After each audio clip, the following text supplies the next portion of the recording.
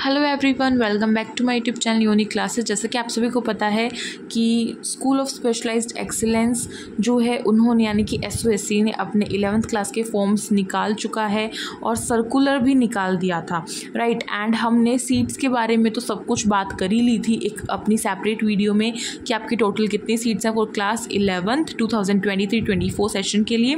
ठीक है और मैंने सेपरेट करके सब कुछ बताया था कि आपकी टोटल कितनी सीट्स हैं स्टैम के लिए कितनी सीट्स सीट्स हैं ह्यूमैनिटीज़ के लिए कितनी सीट्स हैं और ए के लिए कितनी सीट्स हैं? और आपके टोटल स्कूल्स जो हैं, वो कितने हैं एस में फॉर क्लास इलेवंथ तो अगर आपने उस वीडियो को नहीं देखा है तो मैं चाहूँगी कि आप उस वीडियो को चेक कर लेना, ठीक है? आज हम बात करने वाले हैं कि आपका जो एग्ज़ाम है, वो कब होगा? यानी कि आपका जो एग्ज़ाम है, वो किस मंथ में होगा, किस वीक में होगा? और हम लगभग अंदाज़ा लगा सकते हैं कि वो किस डेट पर होगा। जो डेट का अंदाज़ा है, वो मैं ओनली एक एज्यूमिंग यानी कि एक्सपेक्टेड डेट मैं आपको कह सकती हूँ। लेकिन यहाँ पर जो वीक है और जो मंथ है, वो एसओएससी ने पूरा पूरा बताया हुआ है अपने सर्कुलर में।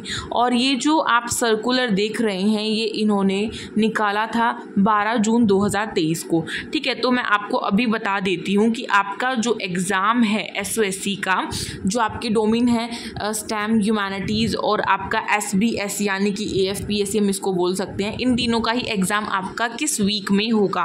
ओके तो मैं आपको आज ये बताने वाली हूँ। तो सबसे पहले मैं यहाँ पे मैं आपको रीड करके बता देती हूँ। The admission A S O S C shall be on the basis of an aptitude test to be conducted at these 13 or its nearby school in the second week of July 2023 इन्होंने हमें बोला हुआ है कि जो आपका S में जो आपका एडमिशन के लिए एंट्रेंस एग्ज़ाम होगा बेसिकली जो आपके थर्टीन स्कूल्स की लिस्ट आपको दी हुई है, चाहे तो उनमें होगा, चाहे उनके नियर बाई किसी स्कूल में होगा, यानी कि जो उनके आसपास के स्कूल्स होंगे, उनमें आपका जो एग्ज़ाम है वो कंडक्ट कराया जाएगा और आपका जो एग्ज़ाम है है वो जुलाई की सेकेंड वीक में कंडक्ट कराने, कराया जा सकता है। फिर उसकी पॉसिबिलिटीज़ है कि जुलाई के सेकेंड वीक में वो कंडक्ट कराया जा सकता है। और मेरे ख्याल से जो बच्चे मुझे मतलब पहले से फॉलो करते हैं, उनको ये चीज़ पता होगी और जो रेगुलर बेसिस पर वीडियोस देखते हैं, उनको ये चीज़ पता होगी कि मैंने ऑलरेडी अपनी पहली एक सेपरेट वीडियो में बताया हुआ था कि आपका एग्ज़ाम बेसिकली कब होगा। क्योंकि हमने पूरा एनालाइज किया था कि अगर आपके ट्वेंटी सेवन जून जो है लास्ट डेट है ऑनलाइन फॉर्म एप्लीकेशन के लिए फिल करने के लिए तो उस महीने में, यानी कि जून के मंथ में तो किसी भी हालात में आपका एग्ज़ाम नहीं हो सकता था। और बारी आती थी फिर जुलाई की राइट क्योंकि आपका जो अगस्त है, उसमें तो आपका मैं कह सकती हूँ कि एडमिशन प्रोसेस सब कुछ स्टार्ट हो चुका होगा। इनफैक्ट आपके क्लासेस भी स्टार्ट हो सकती हैं।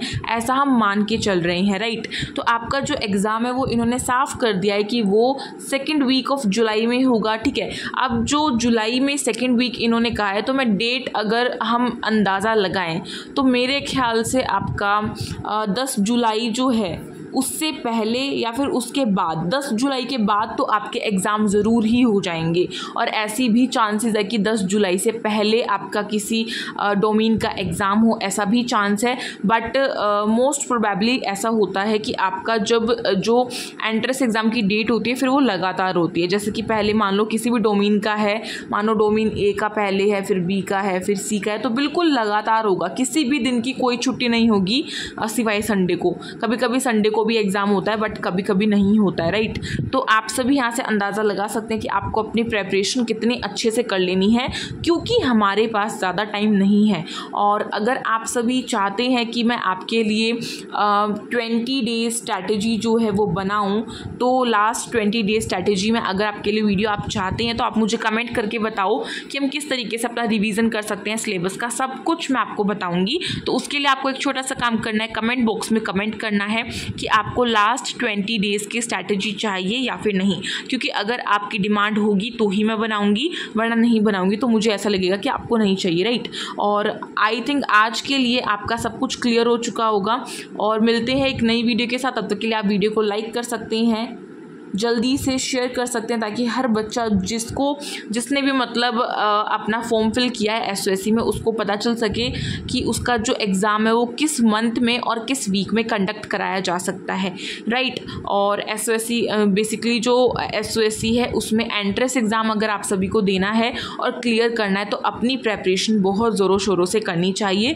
क्योंकि मेरे ख्याल से बहुत सारे बच्चों ने फॉर्म फिल किया होगा, क्योंकि अब जो इस साल नाइन्थ क्लास के एग्ज़ाम्स हुए थे तो उसमें टोटल में अगर अराउंड आपका जो वन लैख स्टूडेंट्स है, उन्होंने एग्ज़ाम फिल किया था, यानी कि फॉर्म फिल किया था अपना, और एग्ज़ाम देने मेरे ख्याल से आपके नाइन्टी थाउज़ेंड स्टूडेंट्स तो गए ही होंगे नाइन्टी नहीं तो एटी थाउज़ेंड तो गए ही होंगे, और आप सभी देख सकते हैं कि सीट्स कितनी ही कम थी, और इलेवंथ क्लास के लिए तो और भी कम सीट्स हैं। हालाँकि कंपटीशन भी कम ही होता है, लेकिन आपका कंपटीशन इतना भी कम नहीं है कि आप अपने हाथ पर हाथ रख के बैठ सकें और ये सोचें कि हमारा तो ऐसे ही आ जाएगा। ऐसे नहीं आएगा, आपको अपनी प्रेपरेशन करनी है और आपकी जानकारी के लिए बता दूँ कि मैंने जो आपकी स्टेम है, उसके पीसीएम और पीसीबी की जो सीरीज़ है एमसीक्यू सीरीज़ वो मैंने स्टार्ट कर दी है। तो आप सभी जाके उसे चेकआउट कर सकते हैं। रीजनिंग जो है ऑलरेडी हमारे चैनल पर कराई हुई है। आपको ये नहीं सोचना है कि वो क्लास नाइन्थ के लिए आपको अपने लिए मानकर उसे करना है।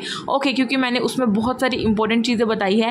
एंड कम से कम आपका बेस जो है वो तो क्लियर हो सकेगा। और अगर आप उस वीडियो को देखोगे, उन वीडियोज़ को और उन पर कमेंट्स करोगे तो ही मैं आपके लिए रीजनिंग की एक जो न्यू सीरीज़ है, उसको स्टार्ट करूँगी ओके तो अब मिलेंगे एक न्यू वीडियो के साथ। अब तक के लिए यूनिक क्लासेस का नारा है एस हमारा है, इसको आप कमेंट बॉक्स में लिख सकते हैं।